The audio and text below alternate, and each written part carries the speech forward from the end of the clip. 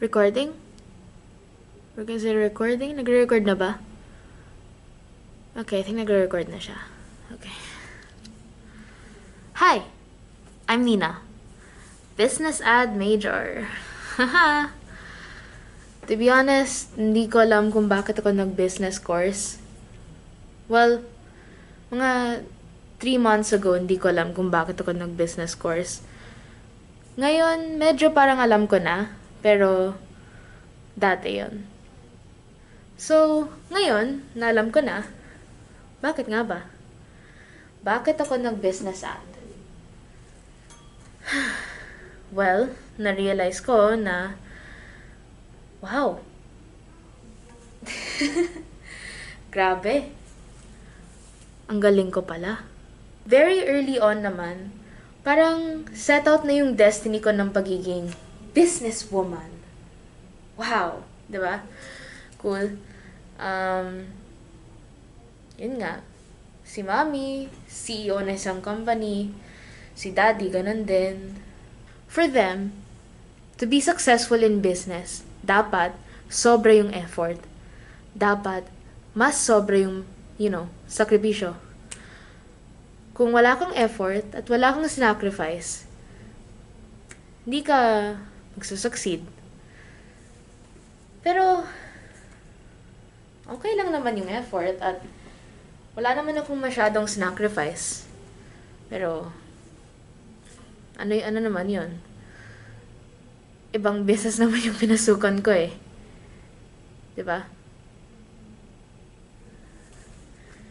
I guess, ito na yung considered, ano ba tawag doon? Ito na yung, um, ano ulit yan? Confession tape. Confession tape.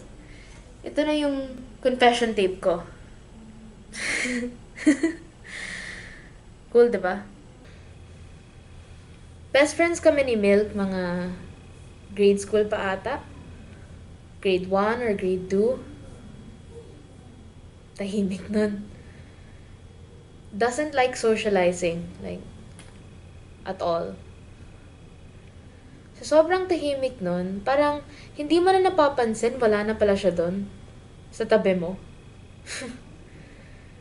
Actually, minsan, tinitry ko siyang dalhin sa mga hangouts at parties ng batch namin, pero yung isang time na actually pumunta siya, umuwi din siya agad. Aside from being quiet, parang ideal nerd siya eh. Stereotypical nerd. Alam mo yun? I mean, sobrang tahimik niya, hindi siya nagsosocialize. In fact, parang minsan iniisip ko na, ako lang ba yung kaibigan nito? Anyways, sobrang taas ng grades nun. Siguro, sa lahat ng schools na pinuntahan niya, siya yung top one. At I would know kasi nandun din ako. top five at least. Well, yun nga. At isa pa, favorite siya ng teachers namin. Lahat ng teachers, palagi. For good reason naman. I mean, palaging on time yung homework niya, on time yung classwork niya, all the time perfect siya, 'di ba? Who wouldn't like that kung teacher ka, 'di ba? Anyways. So, all around good kid, 'di ba? Kaya hmm, nabigla na lang ako nung sinabi niyang, "Hoy, magbenta tayo ng you know what?" Benta ng wait, ano ano pa pwedeng tawagin natin? Gamot? Sige, gamot. Benta tayo ng gamot? Milk. Nasiraan ka na ba? Sinabi ko, dapat, dapat nag-socialize ka na lang eh. Para wag, ka, wag kang mag-end up dito. Well, too late. Tapos pinakita niya sa akin yung isang ziploc bag na puno ng gamot. Tapos sabi ko, saan mo, saan mo nakuha yan? Bumili ka? Then, mas na-shock ako sa answer niya. Hindi. Ginawa ko. Si Milk. Si Milk. Yung pinaka good kid na kilala ko.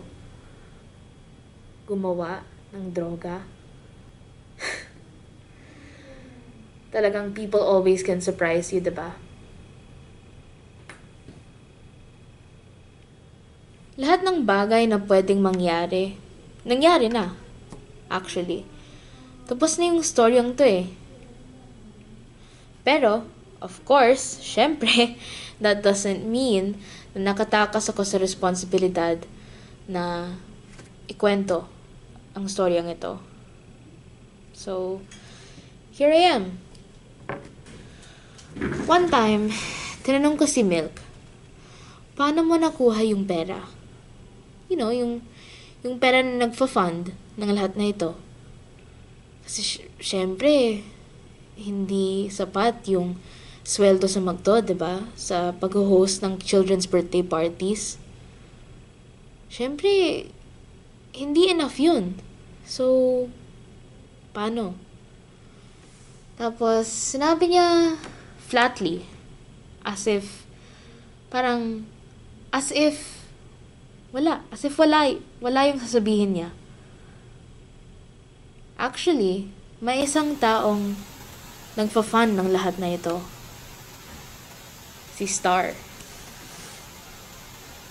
At ako, being me, ang dami kong tanong, si Star?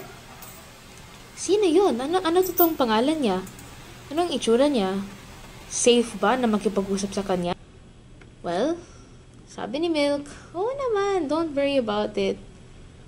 And, well, sa tingin ko, ito yung tulak eh yung tulak sa downhill na pagiging careless ko. From that moment, parang numipis yung pakilam ko ng unti-unti. So, yun. So, si Star, may isang kondisyon lang hindi siya kukuha ng pera, hindi siya kukuha ng kahit ano. Pero, dapat naka-record ang lahat. Weird condition, di ba? Parang, it doesn't, it doesn't make sense. Pero, nandito tayo.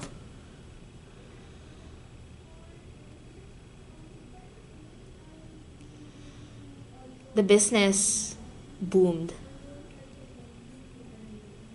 In fact, with the money na nakuha namin, we were able to hire yung isang kaklase namin who was able to market the product.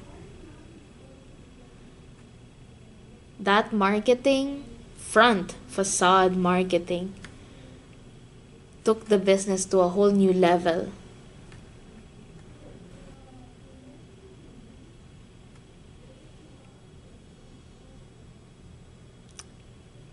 Si Jess. Yung marketer na kinuha namin. Magaling yun. Taga-probinsya ata yun eh. Taga Ilocos ata. Christmas time, yung kinuha ko siya. Actually, hindi ko siya kinuha. Okay? Hindi ko siya kinuha.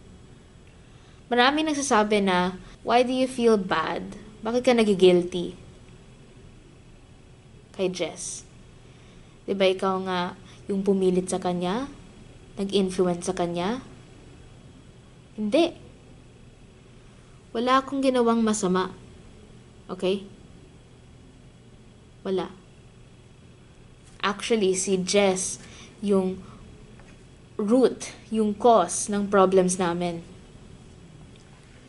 Kasi, she got us caught. And I will, I will believe na siya yung rason kung bakit kami nahuli. For the, for the end. Till the end. Hanggang mamatay ako. Ano ba yun?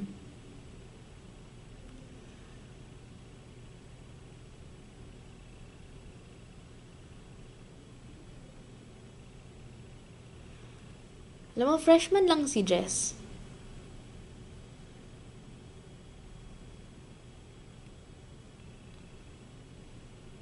Freshman lang. Matalino din, parang si Milk, pero may pagka-humanness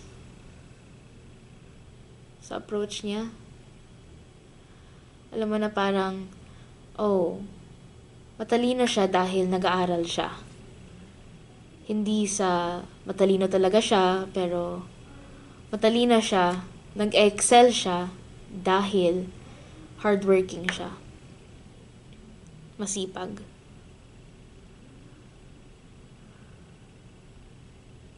I think, pangarap nun, maging parang advertiser ata.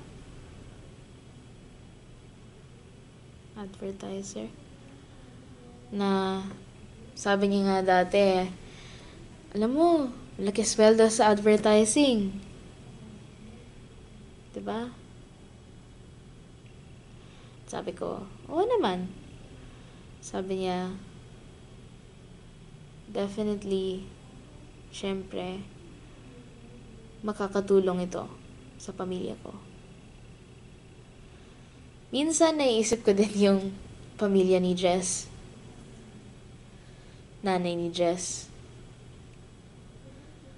Nakaka nakaget over na ba siya sa kamatayan ng anak niya. Patay na yung anak niya.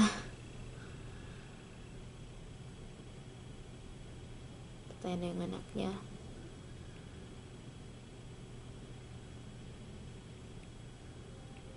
But, she was the root. Siya yung dahilan kung bakit kami nahuli. Siya yung cause ng problems namin. So, walang, walang silbi yung pag, you know, pag-grieve.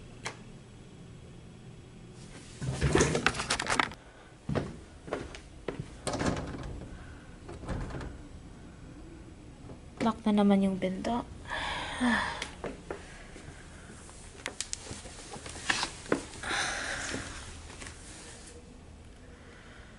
Before you ask, oh, pinatay ko si Thea. Si Thea, you know, sobrang brown noser. Anak ng polis. Siyempre, yun yung first na nagkas nagka-idea na may ginagawa kami. Something bad, something illegal. Siyempre, siya yung una, di ba? Kasi siya yung future detective, future of the law, future of the law enforcement, di ba? I never liked Thea. I mean, I'm pretty sure at one point, okay siya. Pero, siguro grade 3 pa yon. Pero, I would, would never hurt her. Di ko siya kayang patayin na ganun lang. Di ko kayang pumatay ng kahit anong tao na ganun lang. Yung decision ko na yon galing sa pinaka pinaka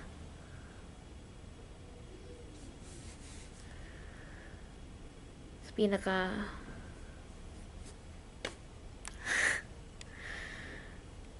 kailangan ko gawin yon Di ko alam kung saan nanggaling yung confidence or kung saan napunta yung konsensya ko. Pero, kailangan ko gawin yon. Nung pinatay ko si Thea, binaril ko siya sa ulo. Sumakto nga sa parang pimple niya eh.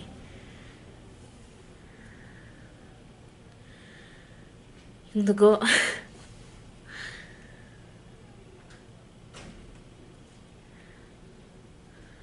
Biglang naging totoo yung lahat. Yung ginagawa ko, ginagawa namin. May pinatay akong tao. May binaril akong tao. Binaril ko yung classmate ko. At nandito siya ngayon. Parang nalulunod sa sarili niyang dugo. Ngayon,